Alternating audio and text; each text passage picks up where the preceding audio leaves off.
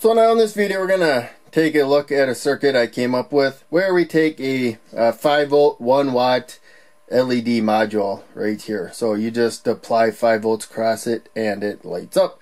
But we have other circuitry here to make it so that it lights up when it gets dark enough as you can see there. So it's uh, basically a night light. So now zooming in on the schematic, plus you can see the LED module a little bit uh, better there. There's the resistor that limits the current. You can put 5 volts directly across it. So we just have this uh, transistor there basically wired as a switch, but it does not have enough gain. We have a weak signal there, and when you get higher currents, um, we're looking at potentially maybe 250 milliamps of a current. At higher currents, the gain goes down. That's another problem. So we are uh, basically wiring up a Darlington pair right there.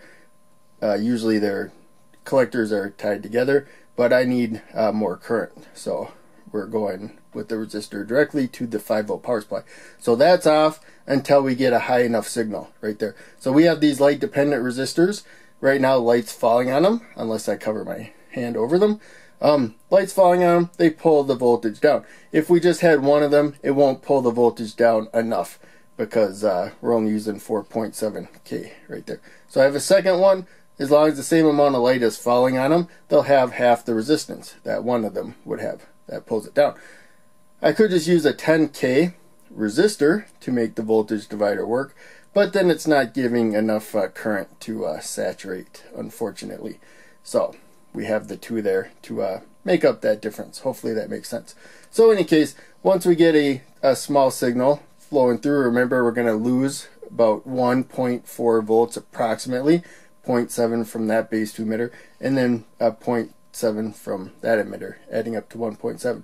But in any case, once we get a small amount of uh, current flowing through, we will get the collector to emitter uh, conducting hopefully as good as it can. And uh, 330 ohm resistor there, we're going to get a little less than 15 milliamps of current probably flowing through. But in any case, we get many times that amount of current now going from collector to emitter there and ultimately it should be the load that limits the current, not the transistor, to make it to ground. So now we'll uh, quickly take a look at how much current we're getting. So I'm blocking the LED from getting to the light dependent resistors and I'm putting my finger over it. So you see uh, 0.232. Remember though that includes the current also flowing through that uh, resistor. I'm going to turn the backlight on there and uh, there you can see we got about the same amount of current there with the lamp off. I'll cover with my fingers there. And it uh, went up.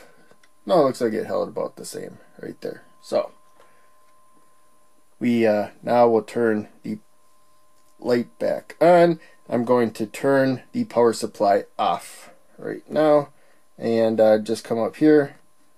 And uh, it might be easier to see if I turn that back light off. Um, so, when I turn the power on, we just short-circuited the LED module there. And there you can see that with the short circuit there, we're getting about uh, 0.224 milliamps, 224 milliamps, I should say, 0.224 amps approximately. And there it went up a little bit. I'm making better connection there. So you can see that's one problem with the breadboard.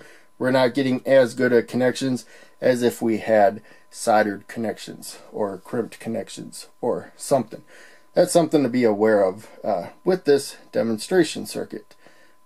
We can zoom in to uh, finish this off so you can see how I wired this on the board. So that's the 2N 2222. If it starts with 2N and it's a bipolar junction transistor, these are NPN bipolar junction transistors, they tend to have, when you have the flat side there, emitter uh, base collector right there. That tends to be the way it is for the 2N transistors hopefully you can see this. This is coming up uh, this resistor down to the base middle pin that resistor to the collector. And uh, we have the light dependent resistors parallel. You can see how three of those resistors come to the middle pin the base right there. So in any case that's it for this video. Hope you enjoyed. Make sure you check out one of the other videos I'm posting on the screen and check out the links down below. They all help out a lot. I'll see you in the next video